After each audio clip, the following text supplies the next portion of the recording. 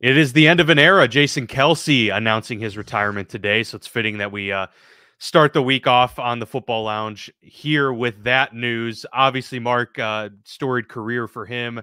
He's a Super Bowl champion, been to another as well. One of the best centers we've ever seen personally, um, and probably just one of the best centers in the history of the league you know, to begin with. Obviously, a long career, one of the most, you know, athletic centers ever, too. That guy pulled all the time. So, yeah, just your reaction. I mean, I've, for anyone who, you know, watches uh, casually, even probably knows of Jason Kelce because obviously not only being Travis Kelce's brother, but he has, you know, had quite a footing in social media as well. Him and his wife Kylie, and they've been out out and about, you know, d- d- bringing their lives, uh, you know, public for a lot of people. So we saw it coming. Uh, I know they've had the documentary and things like that, and he had alluded to you know been thinking about retirement for a couple years. So it doesn't come as much of a surprise. But your general thoughts here uh, as we are officially you know approaching a new era of an Eagles center, which hasn't been for about 13 years or so. My first thoughts are, you know, like ESPN, Fox Sports, CBS, throw the bag at him. He yeah, is no kidding. He's electric. He's great to watch. He's great to listen to. He's um, you know, you could if you put the right team around him, he's someone like you could build your pregame show around for the next like decade to come. You know, Fox has already got Gronk in there and kind of like, you know, starting the next generation of if you see Terry starting to wind down, Jimmy starting to wind down, adding a guy like Jason Kelce uh, could certainly, you know, be the future replacement for a for a Howie Long and you you build you try to keep building that crew and, and people like that. He's he's great. So I'd love to see that. My that's my first first thought. My next thought is, you know, obviously thinking about his career, he's great. He's one. You're right. I mean, he's he's in our lifetimes of watching football since really religiously since about the t- year 2000. I think you'd have to make the argument he's probably the best center in our lifetimes. Uh, and there's been some really good ones. Kevin Mawae, uh, Olin Kreutz uh, names come to mind in the early yeah. 2000s. Alex and Mack, Sean Alex O'Hara. Mack. Yeah, yeah, that's a great one as Saturday well. Saturday was really good. Jeff Saturday, very good center. Um, and and you know Kelce now he's kind of built this brand bigger, larger than life, and you know he's the type of guy that you like. You, you just root for him because you hope now he's leaving the game at the right time where he's accomplished everything he he really could. Besides that Super Bowl, uh, that second Super Bowl ring, and he gets to you know he gets to still hopefully be able to you know not have a million surgeries in five years from now uh, and is the the you know the man behind the tush push and uh, so many iconic moments uh, for that franchise. And it's there's something special about guys starting and ending their career in one place and we're going to talk about that coming up with the big story line with mike evans breaking this morning. Um, so happy for him happy for his family pumped for the guy and uh, next stop Canton. Absolutely. Hopefully, with some you know actual on screen time with a Fox or an ESPN or a CBS, uh, and uh, and really you know lightening up. You know he he would he would bring a lot of like uh, fun to that CBS pregame show that's kind of boring, oh, yeah. and and he would bring a lot of uh, entertainment to like a Monday night football or a or a Sunday night football crew as well or I think he'd be a great fit with the Fox guys for sure. No, it's all about a personality, and he's certainly one that you know brings it to the forefront. And it's one thing to have a personality. You know, I would argue Steve Smith has certainly a lot of personality. I don't think it translates very well to the you know visual broadcast analyst thing. So there is that side of it too. I think Jason Kelce has the total package. So I agree with you that uh, if you're any of those networks, Go get him. Yeah, yeah, do whatever you can to go get that guy because um, you know we're starting to get that new wave of former athletes in there, and, and he would certainly be among the best to do it. Um, but that kind of springboards us into you know the end of an era for uh, Jason Kelce, but the beginning of an era for a lot of the pending free agents here in the NFL ahead of the 2024 NFL season. Free agency officially beginning next week. So we have a week before any of those moves can be made. But as we saw today with the big news of Mike Evans dropping, uh, that people can't sign their their players right now uh, before they hit free agency uh, if they so choose and if they're able to work out a deal. But obviously, there's going to be a lot of decisions to make about what teams are going to be doing if they're going to let guys walk, potentially get compensatory picks because of it, or if they're going to try and work out long term extensions with those guys. It always takes two to tango. So let's launch ourselves here into the free agency frenzy that begins next week, but we're going to preview it here today.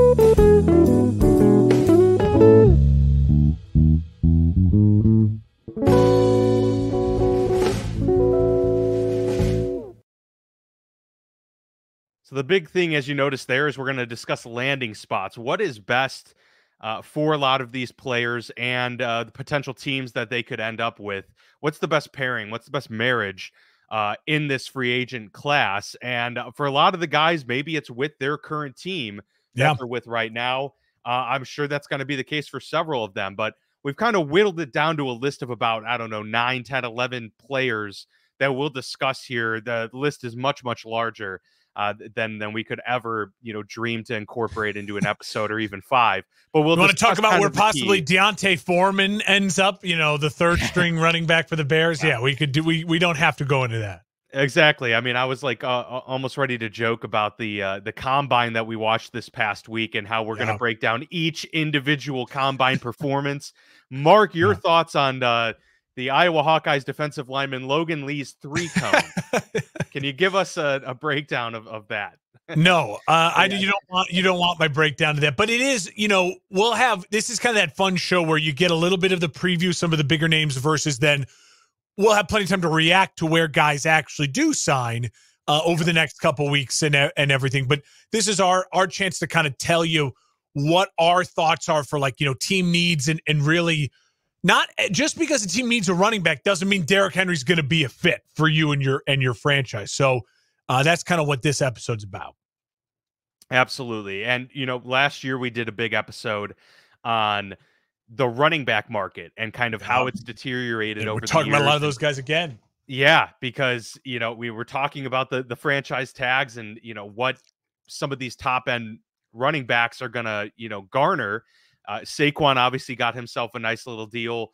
Uh, you know Josh Jacobs came back with the Raiders, but those both those guys are back in the pool again, and we've got guys like Derrick Henry as well. So some big names in this free agent class, and that's just the running backs we're talking about. We've got wide receivers, some great defensive players, quarterbacks. So um, you know, we'll we'll get into that in just a moment, but kind of launching us into that discussion is going to be obviously the news of Mike Evans that also broke today. Yeah. Uh, he and the Tampa Bay Buccaneers have agreed on a two-year extension, so it's a shorter-term deal.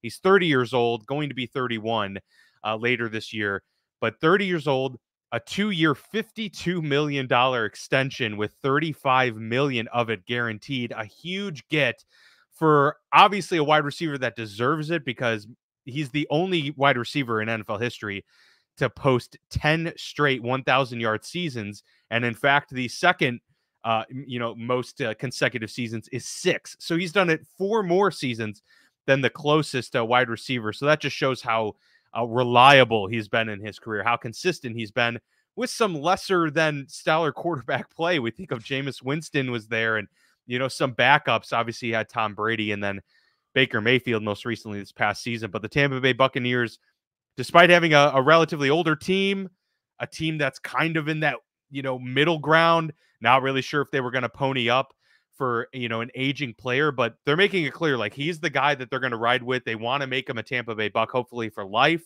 and uh, and kind of solidify his spot there. And I think they know too, Mark, that this was the best move for them if they want to remain where they're at and take us some steps forward. Baker Mayfield had a really good season, and that doesn't happen without Mike Evans. So keeping that consistency for Baker Mayfield there is probably, I would think, one of the driving motivations for getting this deal done and, and making sure it gets Mhm. done before free agency gets gets here and gets out of hand. Yeah, I would ex- 100% expect the next news that we see out of Tampa is Baker Mayfield and them agree to either the franchise tag or a two year deal, which looks very similar to match, you know, kind of Mike Evans's deal in the sense that, hey, we kind of caught lightning in a bottle last year and surprisingly won this uh, division. And so now, can we turn this into a little bit of a run here? You know, with Tom Brady, if you extend this era since Tom Brady arrived, now the Bucks have been one of the most consistent teams in football now over this kind of past four year run, and it's wild. It's you know, true. Super Bowl victory, some playoff wins, uh, you know, and and uh, now divisional wins again. You know, winning a division again when we thought they were going to kind of plummet.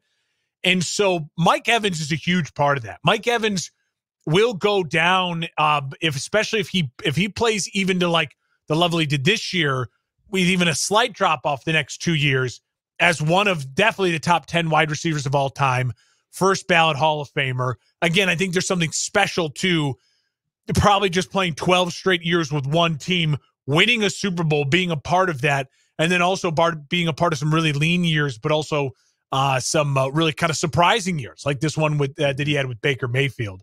So if you're the Bucks at this point in time, you're kind of stuck, right? Like you had you had two options after Brady left. One was completely blow it up, and the other was to try to patchwork this kind of veteran team and stick together. They went with the patchwork, which I think we both kind of thought was the wrong play, and they proved us wrong by winning the division. Now, do we think the Bucks are going to be a Super Bowl contender last year, this year, next year? No, probably not. But they're absolutely the threat to win their division again. And in the NFC, if an injury breaks your way, they were in that game against the Lions in that first half. Like, who knows what can happen? Uh, that you can you can put together a really nice season without winning the Super Bowl and prove that your organization is turning around. Like the Bucks don't feel to me like lovable losers anymore. They feel yeah. like after the moves they make and, and re-signing Mike Evans and keeping him a buck for life and patchworking this thing together, it feels like this is an organization now that's making really sound decisions and is just trying to continue that culture of, hey, we want to win here. Does we want to win Super Bowls, but we also just want to win. And yeah, there's a lot of organizations I wish would just take that lead and follow that direction because it's it's healthier for your franchise, it's healthier for your fan base. It's healthier for your free agency. It's just healthier in general if you just have a culture of winning guys who can come in and out and know how to win. Mike Evans has been a crucial part of that over the last six years, especially.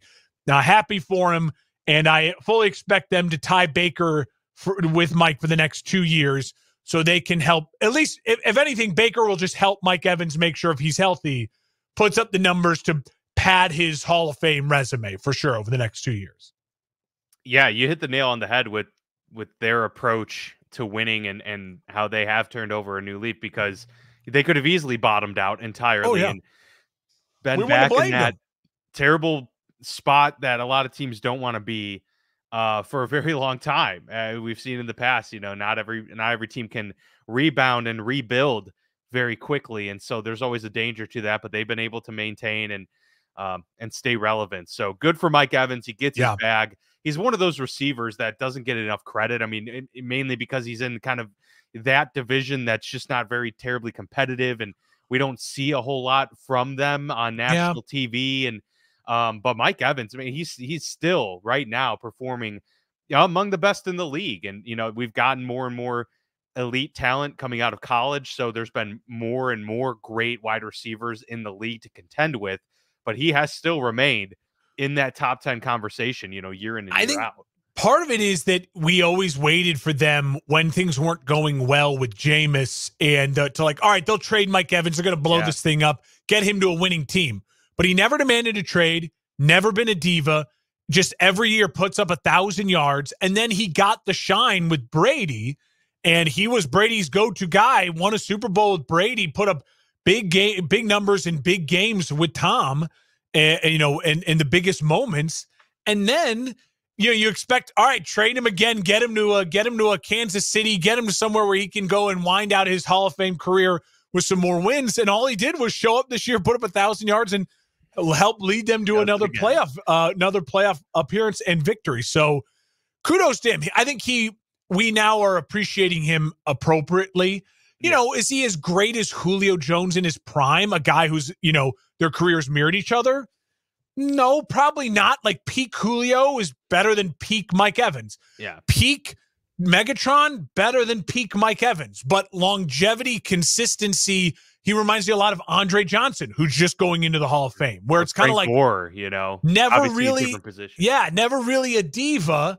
Kind of like always thought they should probably just get to a bigger market and because they'd be a bigger star, but did nothing but put up like a Brian Urlacher in a lot of ways. Like, dude, just was maybe out overshadowed by a guy that you could argue was better. You know what I mean? I could push and pull on that, like who is actually better, but was just more of like the lunch pail hard hat, went to work every day with one team for 12 straight years, it'll be, and just constantly put up insane numbers. And if he retires after two years, it'll most likely will be he still put up a thousand yards and probably could still go, but it's just like, all right, I'm done. You know, unlike yep. Julio Jones now that has bounced around from Tennessee to Philly and Tampa and just kind of like yeah. had a weird end to his career. Yeah, that was bizarre for Julio. Um, all right, well, looking into the free agent class, then get into a lot of these guys yeah, again. Let's do it. Next week is when it starts, so that's when teams like are are actually allowed to, uh, you know, uh, discuss acquisitions and uh, and and details with the agents and all of that stuff. So it's a long drawn drawn out period, but we can expect to to see some fireworks on display. We'll start with Kirk Cousins because he is available uh, on the free agent market.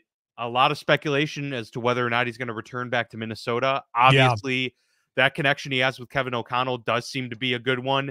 It's worked well. You know, Kirk is one of those guys we've talked about it year in and year out. Super consistent, you know, above average quarterback who you can win games with. Totally. Obviously, he hasn't gotten them over the hump and, and had these, uh, you know, success in the postseason, which is going to be, you know, the the black spot on his career to this point.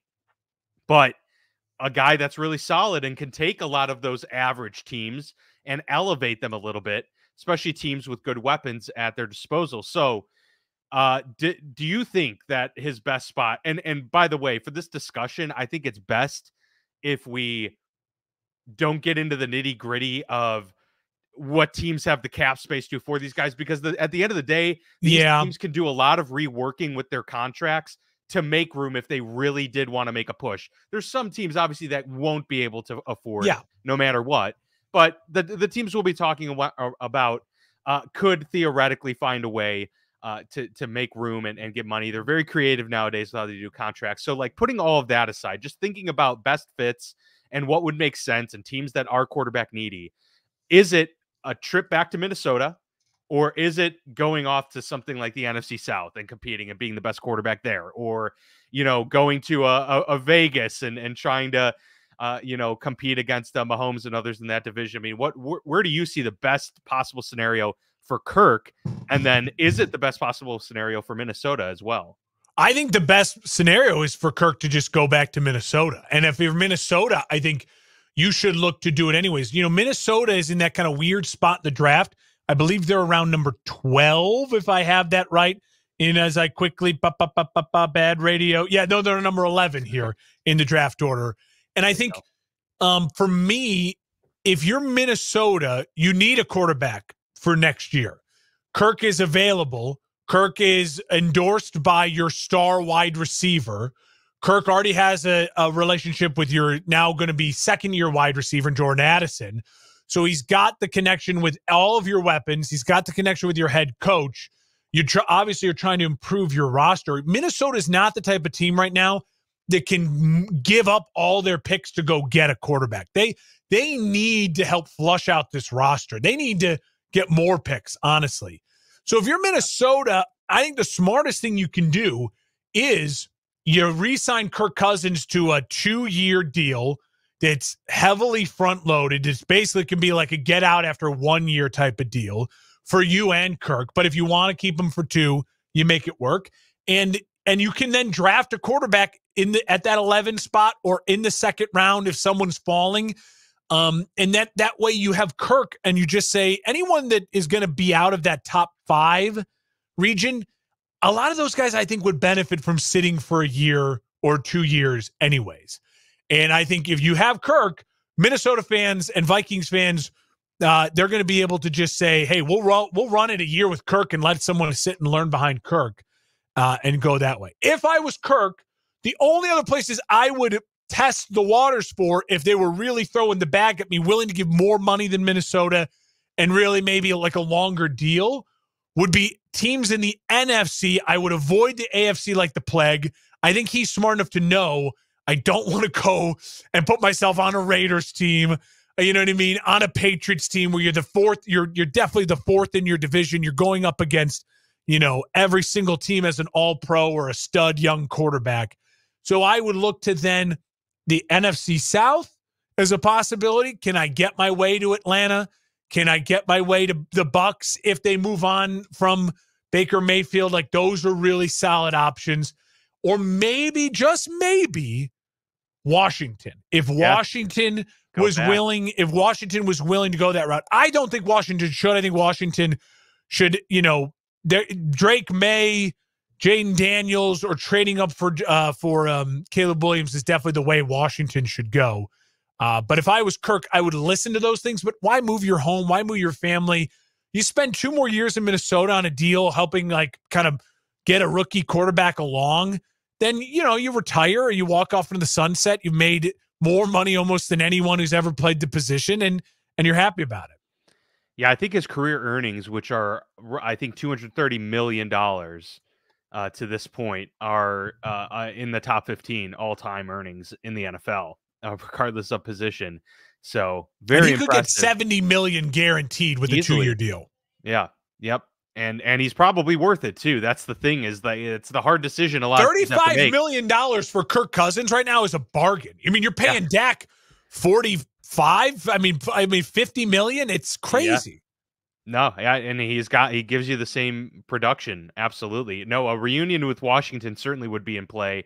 Uh, even if they're they're going to go get a, a, Drake Maye, maybe there's a, a, possibility where Washington wants to take the route of letting their quarterback, you know, sit behind a Kirk Cousins and learn from him for a year. Yeah. You know, and I mean that's certainly that's a possible route you could go. It's a lot of capital, and you want to get these guys experience. But I do feel, not to shift away from this conversation too much, I do feel that sooner rather than later, the NFL is going to start to have that pendulum swing backwards. We've had a lot the last five, six, seven years of quarterbacks playing really early uh, in their rookie year.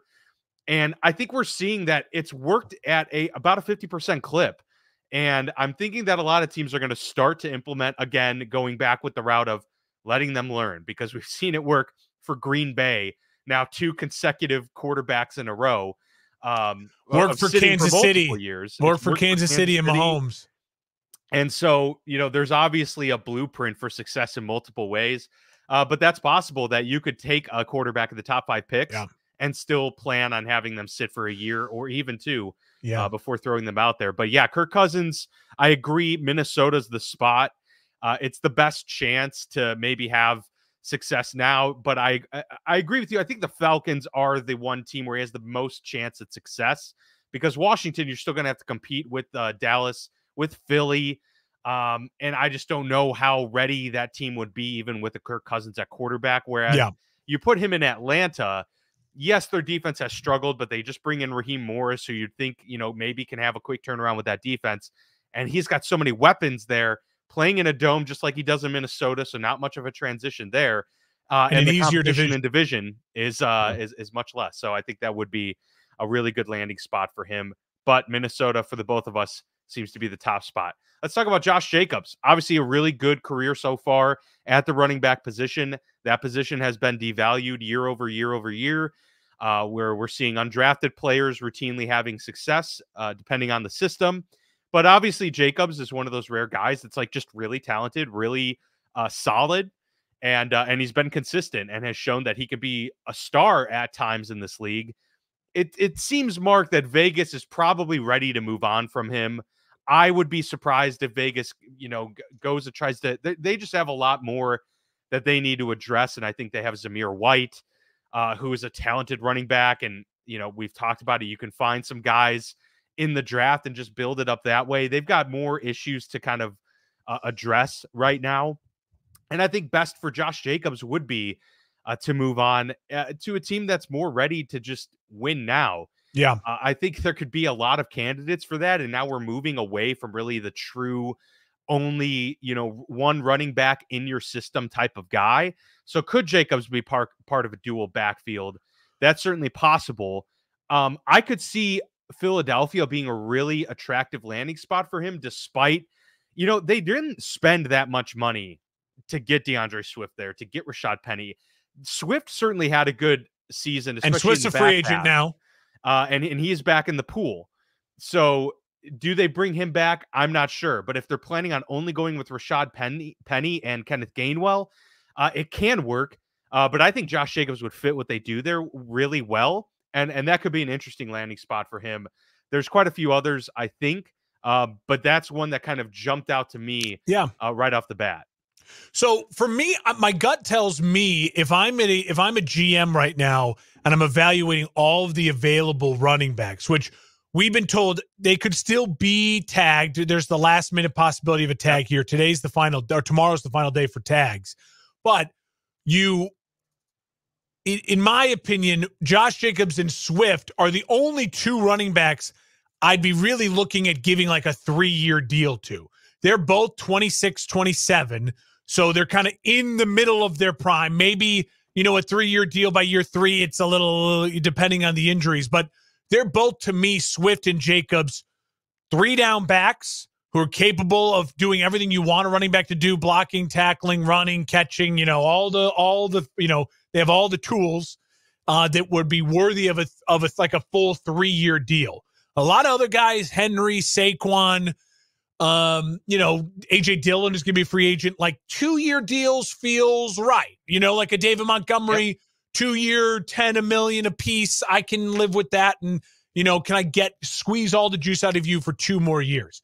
So that being said, I would try to bring him back if I'm the Raiders. You're trying to compete in a division with a Chargers team that we fully expect to be way more buttoned up and way more uh, uh, efficient next year and a, a two time Super Bowl defending champion Kansas City Chiefs. You want as many weapons as you can have.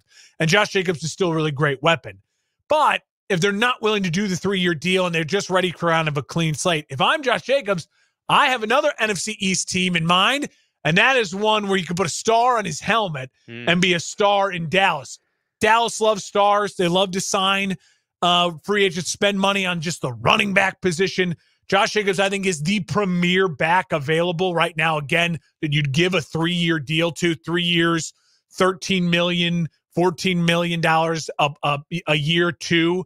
Uh, Jerry Jones loves the sound of that. And if they're going to re sign Dak and spend big money on Dak, giving him a true three down back again, unlike Tony Pollard, who's about to hit a free agency, is definitely the way to go to support Dak. He plays better when he has a real, absolute stud, three down running back. And Josh Jacobs is the best one available, in my opinion, in free agency.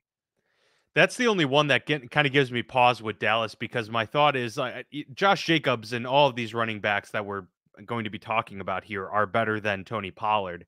But Tony Pollard is is pretty decent. He's a good running back, I'd say. Um, he's not spectacular. He's not you know overly special in the realm of the you know his contemporaries. But if you're Dallas and you're and you're willing to let him walk, only to just basically spend more money to replace him with a slightly better, or you know, even m- maybe substantially better uh, player at the position, um, I don't know. It just it, it doesn't. It, it, seems like they'd be better suited to spend that money elsewhere, especially on the defensive side. Um, it's fair. I will, I just don't. You know, I push back a little in the sense that I agree that Dallas loves to spend money on their own. Like Dallas loves to reward their own guys. Yeah. And Jerry loves that. But I also think Jerry loves, you know, a star and a big game hunting. And look what I did this offseason. I went and got the best back.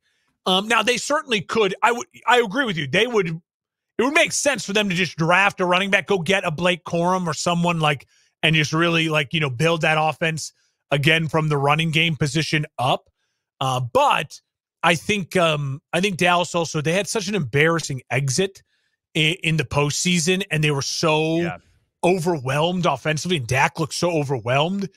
It, it would make if I'm Josh Jacobs, I'd love to be in Dallas, the star and the helmet, the money that would come along with that, the exposure, and um, I think you also, if you're Dallas, you're the coaching staff, you could justify to Jerry spend the money. We need to help Dak, so it's kind of my dream location for it. It'd be a great talking point for us throughout the season. Josh Jacobs in Dallas. As we move on to Saquon Barkley and talk about his landing spots, I yep. will pose one more landing spot for Josh Jacobs because it's the spot that I think would be really good for both him uh, or Saquon Barkley here, and that is the Minnesota Vikings, who I just noticed on Twitter here officially announced that they have released Alexander Mattison. So they're really down to Ty Chandler as their one running back. Yeah. And, you know, he did play well at the end of the year. He got a lot more playing time. Mattison was hurt and uh, Chandler, you know, worked out well. I don't know if they consider him a full three down back. And so they're going to want to bring more into that room. Now, whether they do that through the draft or free agency is yet to totally. be known. But I mean, we talk about Kirk Cousins going back to Minnesota. Yes, they need a lot of help on defense. But if you want to, you know, further surround him with some talent here, you know, he had his best years. They they definitely took a step back in the running back department last year, and they struggled to run the football effectively without Dalvin Cook. You bring in a Saquon Barkley here or a Josh Jacobs, takes the pressure a little bit off of Kirk. You're able to maybe elongate drives and and kind of make up for the lack on defense a little bit when you can get that run game going. And I think either one of these guys would be a good fit there. But uh, you know, in terms of New York, Saquon always he just feels like a giant, and it feels like such a great um, you know, fit. But I just over the years, there's just been this tension between these two parties, right? And Saquon is such a unique talent that it's kind of like Bo Jackson, where it's like any moment he could have just he's so extremely athletic that he could have an injury because of how athletic he is, right? Yeah, That's how Bo way. Jackson went out. Like most guys would have fallen on that tackle, but he was so strong that he powered through and almost broke out of this arm tackle only to just basically separate his leg from his hip. Um, and and it's Saquon's that type of build, right? Um, and so you want to be able to maximize his talent when you can. And it's just not going to happen in New York for Saquon in terms of winning. Like it's just they're they're still a ways away. I feel even yeah. with Brian Daboll there, and they've got you know quarterback locked up for a lot of money. Saquon would probably be best to just kind of wipe his hands clean of New York and and and get a fresh start somewhere else, primarily a contender. And that's that's the hard thing is is finding one, you know, that that has a legitimate chance at, at, at breaking through and making a deep postseason run, making a Super Bowl. But, you know, there are certainly those teams out there. And I don't know how Tampa feels about Rachaad White. Um, but man, Saquon would be great in Tampa. Um, you know, I could think of, gosh, you know, it wouldn't be great for Saquon, but Carolina could sure could, could sure use a you know a star running back to help uh, ease things on Bryce Young. So uh, there's a lot of places that Saquon could fit, I believe. Um, but do you have like a, a spot in mind that that really sticks out? Well, there's a ton. I agree with you. There's a ton. I'm in Minnesota, Dallas. We just said it. Staying in New York. I mean, they need him. They need you need to make Daniel Jones work. He works better if he has Saquon Barkley. Uh, the Rams. I think the Rams would be a great destination for Saquon to land. Uh, a competitive team that Sean McVay could absolutely get the most out of Saquon Barkley with that young, improving offensive line that the Rams have put together you know, LA, stardom, big name. But I have one destination I really want to see Saquon Barkley land. And I think it's a place that no matter where they go with quarterback, they're going to be in a you need to support, you need to win now. I love it. Bear down. I, I think going. Saquon Barkley on a, on, in a two year deal with the Chicago Bears. Again, front loaded, heavy, just as a lot of like a one year thing. Listen, Khalil Herbert is a is a fine back for the Bears. The rookie Roschon Johnson, I think, has some real spark moments. But those two guys are are are guys you absolutely they're compliments. Want, they want to compliment a guy like Saquon. And if Saquon misses a couple games because he tweaks something because he is a guy who's known to get injured, they absolutely can start a game or two and, and be very, very efficient running the ball. The Bears were the second best running football uh, team in football last year behind only the Ravens, uh, ahead of the San Francisco 49ers. Saquon and his agent are going to know that going from New York to Chicago, big market. They're going to know that. He knows the, the the branding with the Bears, with Walter Payton, Gale Sayers running the football defense. They're going to know that too. It all works in the Saquon kind of legacy. He also knows that if he's going with Justin Fields, him and Justin Fields and DJ Moore, like that's sick. If he's going there to support the young rookie Caleb Williams, he knows he's going to get a good workload because they're going to want to take the pressure off of Caleb and make this – thing easy for him. He also fits really well in the Shane Waldron system. So I'm going to make the case for Saquon to Chicago for all of those reasons is like the kind of best fit, dream fit. But he could go anywhere. He could go anywhere Uh, a lot. There's, there's two or three other places I could list, um, but I, I really think Saquon is a a unique guy. The problem is if your team is looking to get Saquon, you really just want to do a two year deal. You don't want to be tied to three. He's going to probably want the three because he's only 27. I just would have a hard time pulling the trigger on a three year deal with Saquon because that last year feels like you're screwed. Like you're, you are as an organization going to have to cut him or do something. But if you're that desperate to win next year, you might give him the three year deal just to get him into your building so you can win next year. Uh, we'll see what what kind of offers are on the table for Saquon, but I think Dallas, Chicago are the two that, uh, if I was Saquon and I was those organizations, I would try to really make work. You know what? I as you were talking, uh, Hugh, what about Houston? I mean, Houston kind of would check both boxes. They I, they have the yeah. the available money to spend. They have a need at that position, and and they obviously totally. had a, a, great offense last year, and they're in a position where they can win now. So Saquon would go there, saying, you know, we I can actually build something here in Houston and um and and that seems like a, a, market he would fit well in. We're talking about an AFC South with some great running backs already. Uh, Jonathan Taylor, Travis Etienne, uh, in that same division. Derrick Henry on his way out. We'll see if he comes back. Um, but that brings us to Derrick Henry. Are the same same spots for him, or, or do you view? No, no, no. Maybe a, I have a, one a spot list. in mind, and right. one spot, and it makes to me, it's the only one that makes hundred percent sense for him and the team. Again, so thinking win now mode, probably a two year deal, but really it's like a, a win now, one year big deal. A team that just breeds physicality and a team that is committed to running the football, and that's the Baltimore Ravens. Like, and Derrick Henry, yeah. even though he is 30, he's been a very healthy back in his career. And the problem with the Baltimore Ravens is they can't keep anyone healthy. yeah, that's so. And. I think the Ravens absolutely need to draft a running back or two. You know what I mean? In the you know fourth and fifth round, just get guys into camp. But if you give Derrick Henry a two-year deal, that's really a big one-year front-loaded deal. Him and Lamar Jackson. I mean, think about in the fourth quarter as a defense having to have already done 12, 15, 20 carries with Derrick Henry, middle of the fourth quarter. You're getting beat up and then all of a sudden you got to go tackle Lamar Jackson in space, you're t- like you're done. You're toast. Yeah, I think it's it's a match made in heaven. And if you are a Baltimore Ravens team that is trying to find a way to make sure your offense doesn't sputter at home in an AFC championship game again, having Derrick Henry on your sideline is going to be a helpful tool to make sure that doesn't happen. I think that's the one that makes the most sense. Again, Derrick Henry could find his home in a couple places, but that's the one I think that's the best for the headlines. It's best for us, you know, going into the season.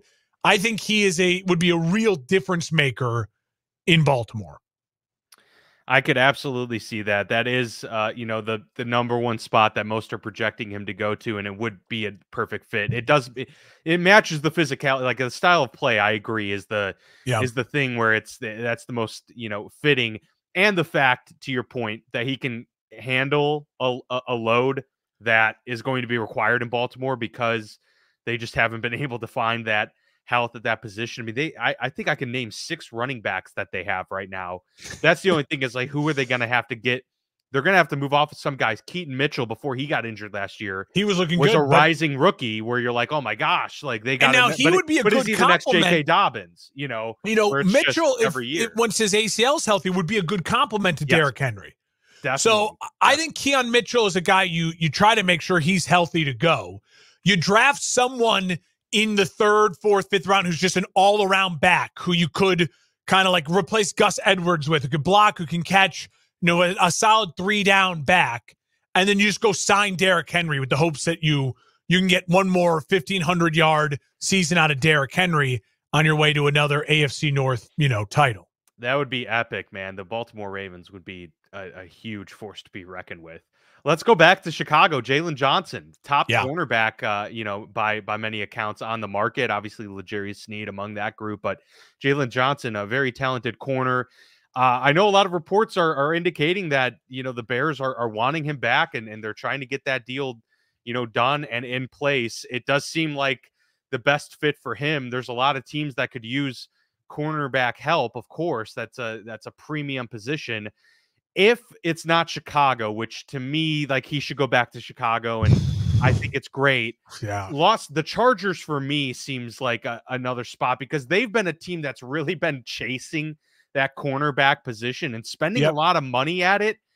But he's uh, like they've been spending a lot of money for guys that were just a little bit older, right? You know, just outside of their prime. Jaylon is entering. Jaylon's a guy where, yeah, like you know you're going to get ROI on this. You're you're gonna get the return on investment for Jaylon Johnson. So yeah, you know, if I'm the Chargers, whose defense really really needs to to be overhauled in many ways, uh, John Harbaugh would certainly like to have him some Jaylon Johnson there. But I will say again, like Chicago, you got to find a way to eh, keep that guy there because he's a super talent, and it's hard to find elite corners in this league. Absolutely. He's he's not leaving Chicago. They'll tag him or sign him. He's he's not going to leave. But if he does leave, look for the teams that are willing to spend on defense. So teams that historically value defense and are willing to spend.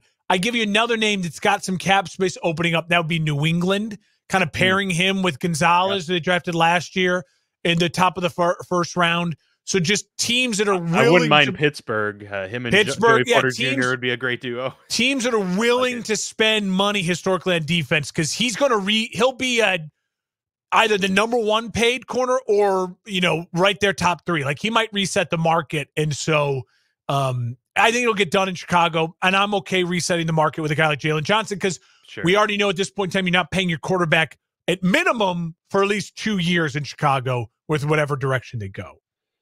Would you prefer a franchise tag or a long term? No, just get a deal. Got it done. Just get yeah. it done. Because I want yeah. him.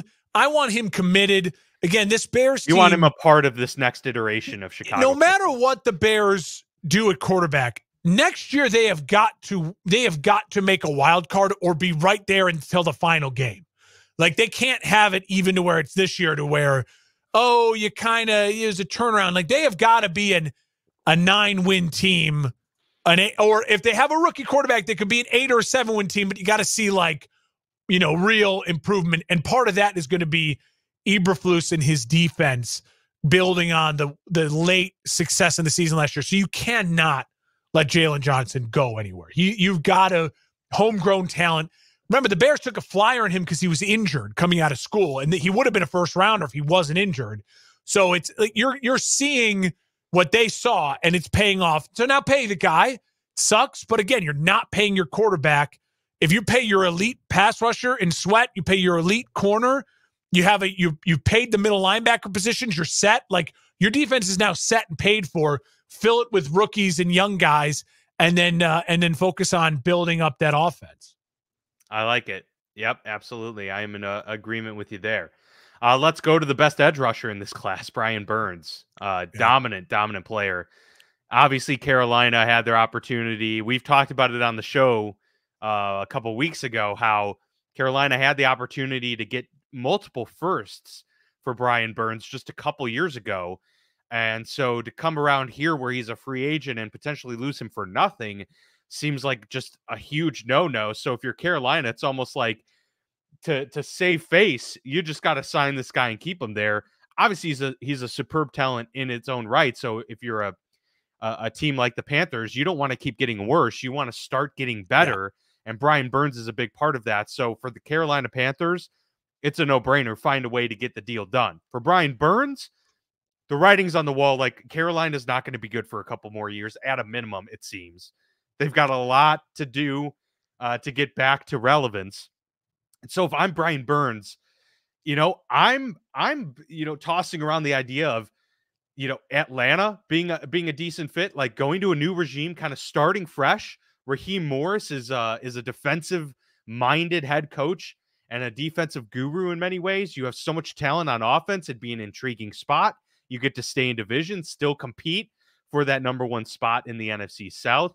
Yeah. Uh, but then, you know, if, if we're talking about like you said, you know, some of the uh, the teams that have been willing to spend a lot of money, uh, Rams would be a very interesting spot, I think, for for a guy like Brian Burns because it's a team that is ready to win now, that has had issues on the defensive side, but still have some studs and uh, and and have you know some guys that you can have some confidence in.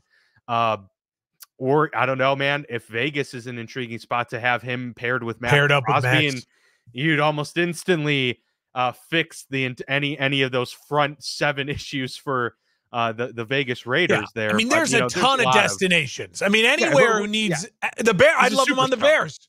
I mean, I, you know, you put him with Montez Sweat, boom, like to go. So, yeah, I mean, a lot of that is there. I mean, there's a fit in almost every place. The problem will be, yeah. will he actually hit the market? If you're Carolina at this point in time, it feels like your hands are tied. You cannot let him hit the market because yeah. you will just be eviscerated from not only your own fans but just other NFL GMs and people like you're such a joke of an organization that if you weren't gonna throw the bag at your best player, then you should have traded your best player because you could have got multiple high end picks for him and he didn't do it.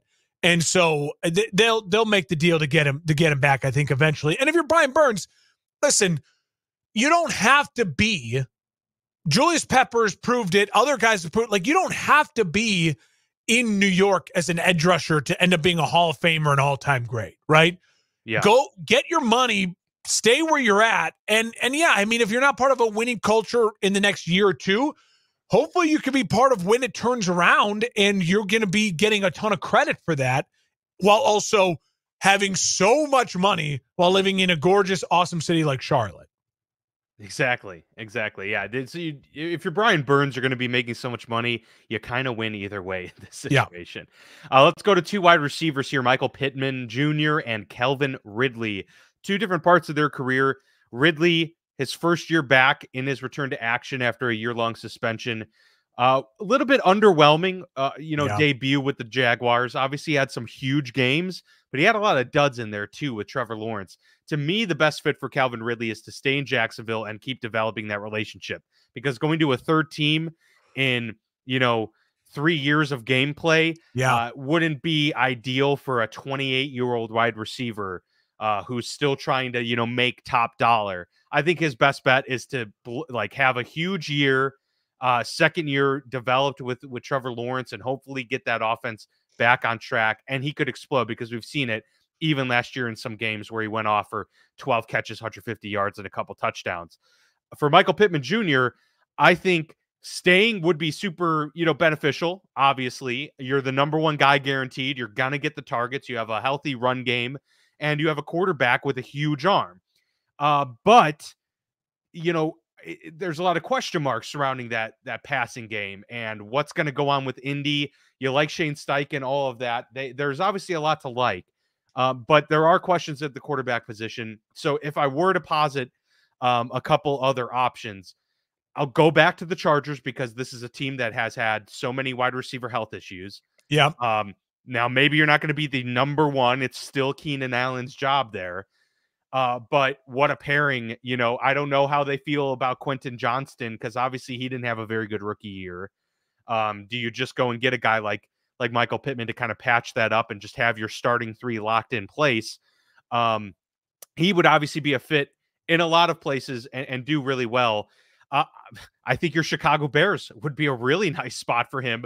He's he would complement DJ Moore's style very well. Uh, be a true X receiver on the outside um, but I think the most likely scenario here is that Indianapolis is going to either tag him or re-sign him. And the same goes for Ridley. I think he's coming back to Jacksonville. But hey, maybe what if they swapped? You know what? Jacksonville could use Michael Pittman Jr. That wouldn't the, hurt. I will say this the wide receivers like this have to be a little careful in the sense that there are so much talent in the wide receiver world yeah. now. Yeah, and it comes out of the draft every single year. I mean, they're already talking about having another five wide receivers in the first round this year. I mean, so they're becoming a little bit of a dime a dozen. Go find your guy. Puka Nacua was a fifth round pick. Like you go find your guy and turn him into a star. And so if your offer, you feel like, well, that's pathetic. I'm worth more than that. Be careful what you wish for. I mean, look right. what happened, how quickly guys like Juju Smith Schuster, they fall off the face of the earth. So if you're Michael Pittman and you have a nice offer to stay in Indy and be the number one guy, I would take it. If not, I think he would command more on the open market.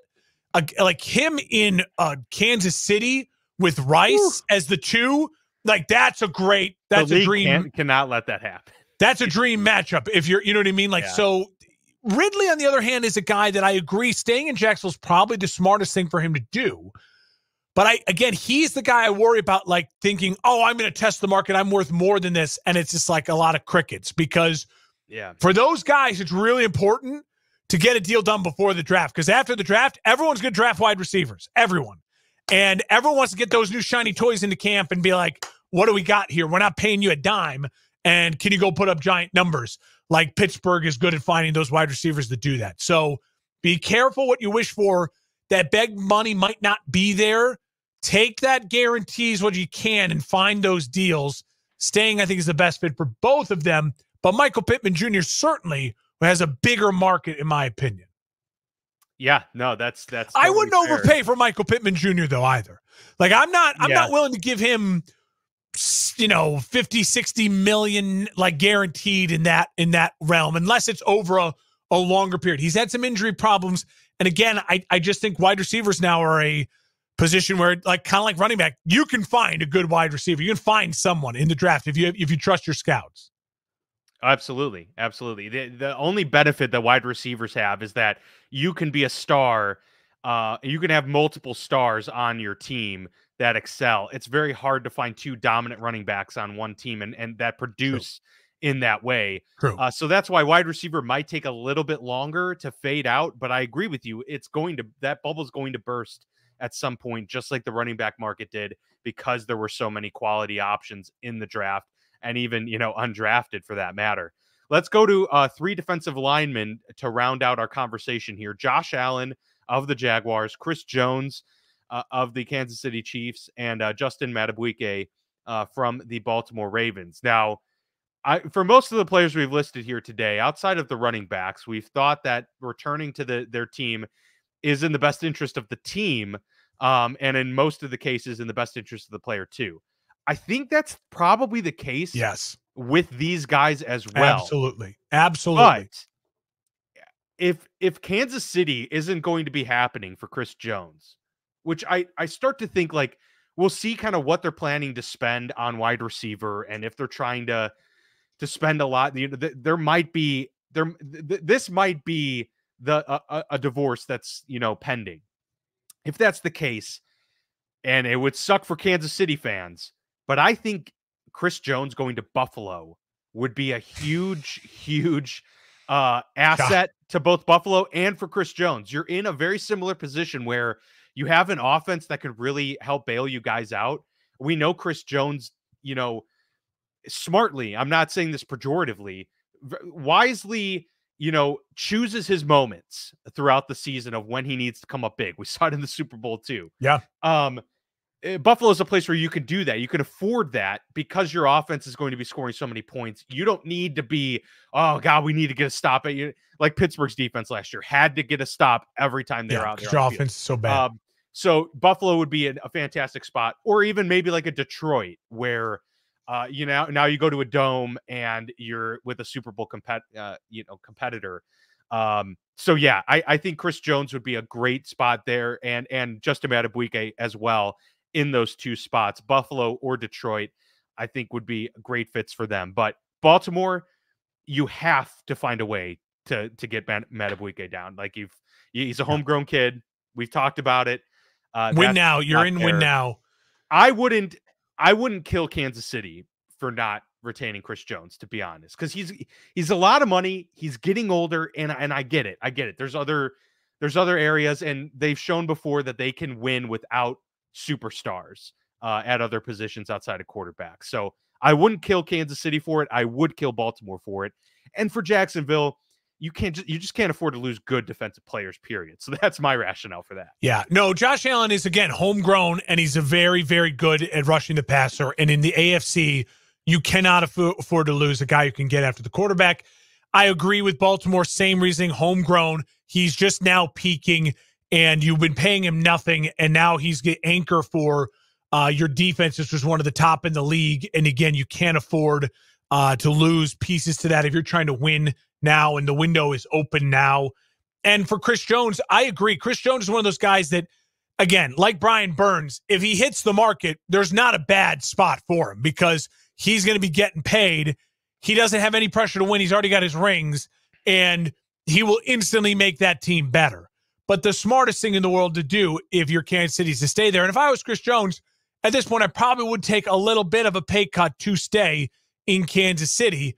Life has been good. You've been eaten, and your your chance to be a Hall of Famer stays higher if you stay in Kansas City. If all of a sudden you go and take way more money and just disappear in Indianapolis for the next three years, am I going to uh, like, oh, Chris Jones, is he a Hall of Famer? Is he not? What are his stats like? Where does he line up?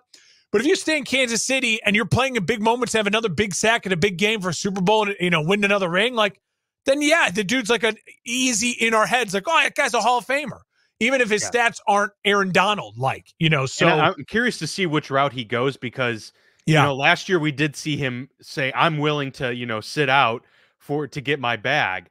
Uh, but he did eventually. I'm wondering if this year maybe he's taking a different approach of saying, okay, this is more about legacy for me now. I want to get another ring. I want to move forward with this dynasty. So that's a good point because that is a motivating factor for a lot of guys, even if they are more and more so uh, inclined to to constantly break records yeah. and break the bank. You know, guys made a lot of money. Maybe he is willing to take a slight home di- hometown discount, absolutely, uh, win another title. Absolutely. Yeah. All right, I have one more name I wanted to throw at you from uh, that wasn't on That's our good. list, and I just yeah. thought to myself, this is one of those. It, it, probably it's not as big of an it's not as big of like a maybe a signing if you know if if if a Mike Evans had gone somewhere or Kirk Cousins signs, but this is a team that again, I just think they are they they have to look to find ways to add unique pieces on one year deals that keep them at the top of the mountain. The Kansas City Chiefs. If I were to tell you this name signs with the Kansas City Chiefs, your reaction would be probably like my reaction would be like, oh shit, that damn, that's that sucks. They're going to be so good. Like they're going to find a way to make that work really, really well. And that name is Austin Ekeler. Like they have Isaiah Pacheco, right? Uh, Clyde Edwards-Helaire is a free agent. I think you bring back Helaire if you can on a nice deal as a good compliment to Pacheco. But if you can get an Austin Ekeler on like a one year deal that is very much like a prove it Austin Ekeler and like come win a Super Bowl, just think of him in Andy Reid's system. Like that's going to annoy oh, yeah. the shit out of me. that's going to be one of those you're like, how? Why? Why did we give him? That? Why did they get him and that tool? And he won't be a chief for life. It'll be like a one year, and then he, he wins the Super Bowl and he's gone. They're going to squeeze all the juice out of him. But as a nice compliment to Pacheco, like Austin Ekeler doing weird, crazy routes in the backfield and all of a sudden catching shovel passes, no look. And you just be like, why? Why did we let the Chiefs get Austin Ekeler? That would be an epic signing, and especially because man, just watching him go in motion in that offense. I mean, they probably would. He would probably be used much more as like a slot uh, gadget type of player, oh, almost oh, yeah. in a Deebo Samuel style uh role and that would be terrifying. You know, so, he's yeah, 30 and you. he's and wild. And I don't think he's going to get the money. Last year was his real chance to try to right. get the money. Yeah.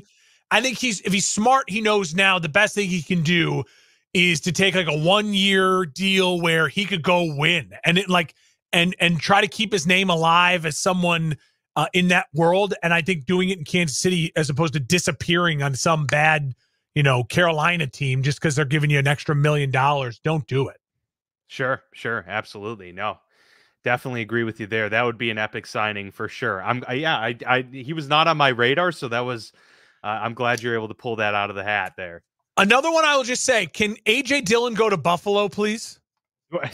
I, mean, if we're talking about fit, yeah, that because that I sense. want him. I want him out of Green Bay. I'm sick and yeah. tired of his giant ass running down the Bears yeah. all every Sunday, and and he would be a great fit, a great compliment to Cooks. Cooks, it, a Cook is a lot like um, you know Jones, and I think yep. he'd just be a, in Buffalo. They were they were running the ball late in the year. Get him on a nice two year deal to just go up in there in the snow and the cold and be a, a just a bruising back as a compliment with Josh Allen in that run game. I think uh, AJ Dillon in Buffalo makes a lot of sense. Would give them a goal line option outside of Josh Allen as well. Yes. So you get to get to maybe uh maybe give him a rest every now and then inside the 10 yard line.